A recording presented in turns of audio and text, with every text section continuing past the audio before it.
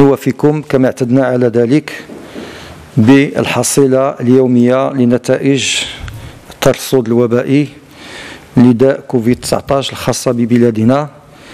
ما بين الساعة الرابعة لبعد زوال الأمس إلى حدود الساعة الرابعة ليومه الخميس 7 ماي 2020 فخلال هذا 24 ساعة أكدت لنا المختبرات الوطنية التي تقوم وتشرف على التحليلات المخبرية من أجل التأكيد المخبري للحالات المحتمل إصابتها. أكدت لنا المختبرات 140 حالة إضافية ويصبح بذلك إجمالي الحالات المؤكدة ببلادنا منذ بداية الوباء. 5548 حالة مؤكدة.